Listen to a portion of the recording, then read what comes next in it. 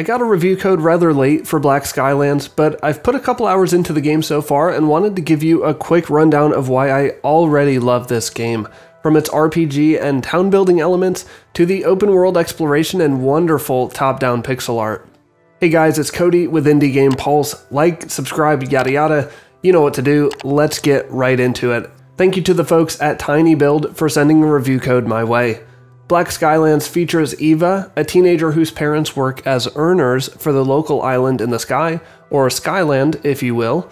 Other folks around the town are divided into factions based on their profession, and you can walk around and chat with many of them to gather bits and pieces of the history and goings on in the world. The story escalates pretty quickly within 20 or so minutes of starting the game, and you learn all about the growing threat of the Swarm, a foreboding race of creatures threatening the peace of the Skylands, and in a somewhat expected turn of events, this guy Kane turns out to be a bit of a jerk.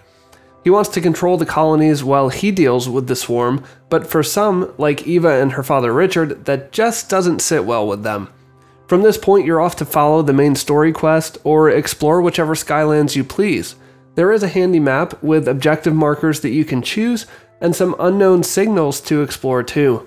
To get to all of these locations, you'll hop aboard your skyship and set sail but it's not always smooth sailing as you'll encounter enemy airships or turrets, and you can use your onboard cannons to lay waste to them. There is a decent bit of upgradability and resource management in the game between your munitions, crafting resources, and repair kits, and a few others too. We'll talk more about the crafting in a minute. As you harvest resources throughout the different Skylands, you can either deposit them in your ship or find a warehouse space in the area, and these items will be available to you anywhere from that point on. It's a really handy inventory system, actually. Once you return home to the fathership, you can use some of these resources to rebuild your town for your own good, with things like gardens and workshops and many others.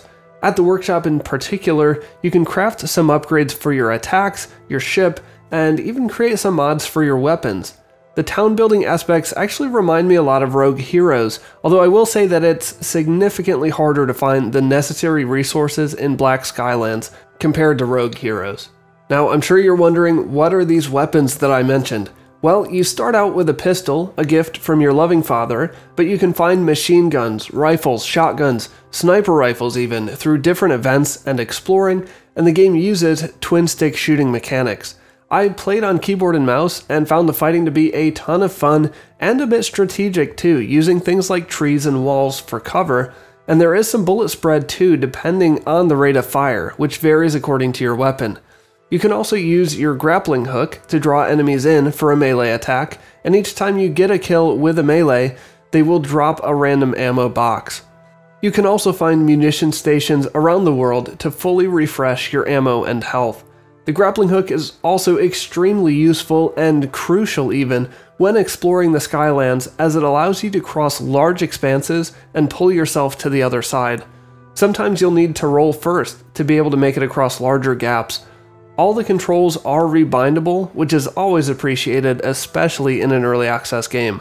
As far as the art goes, the pixel art style in Black Skylands features natural colors and hues similar to something like Stardew Valley, and even has a day night cycle and some weather effects too.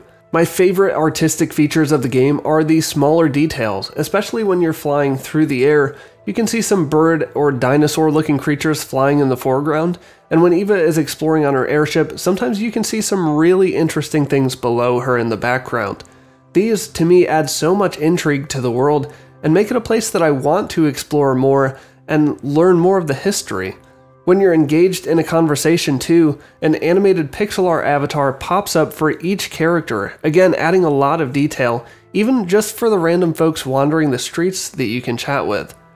Now, let's address the two questions that always get asked with early access games Is there enough content now, and how long before the 1.0 launch?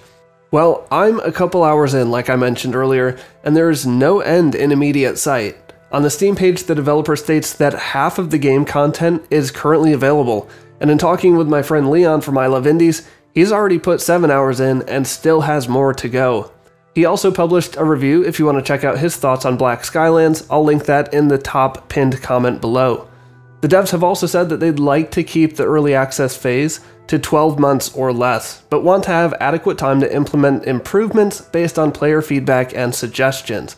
It seems to me that there's already a great amount of depth and exploration available in Black Skylands, and I have no qualms about recommending it to you guys as it is, with the expectation that it will continue to get even better. In most early access games, I can often pick a thing or two that I would suggest be changed or optimized, but in my experience, everything has been well thought out and implemented, and Black Skylands is a blast to play. Thank you very much to my 1,150 subscribers for your support. If you like what you see here at Indie Game Pulse, join us on Discord and consider helping us grow by supporting us on Patreon. Links are in the description. For more top indie game countdowns and reviews, check out the videos on your screen now, and I'll see you on the other side.